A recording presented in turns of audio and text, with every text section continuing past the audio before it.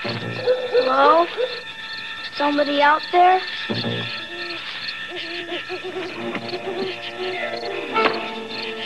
E.T. Video game? E.T. is the Atari video game cartridge you have to buy separately to play on the Atari video computer system. Your parents hook it up to the TV. It's the video game that lets you help E.T. get home. Bye, E.T. This is the Atari video computer system. E.T. and other video game cartridges are each sold separately.